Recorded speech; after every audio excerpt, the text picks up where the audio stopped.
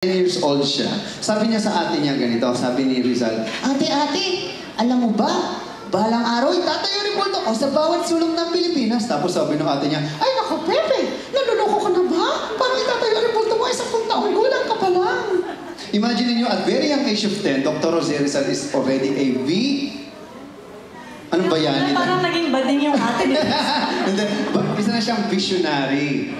Oo, di ba? Rizal kasi is an epitome of greatness and excellence of a Filipino. Kaya palakpakan natin Pambansang si bayan. Dr. Jose Rizal. Kala ko si Director Ah, syempre, siya ngayon ang simbolo ni Rizal.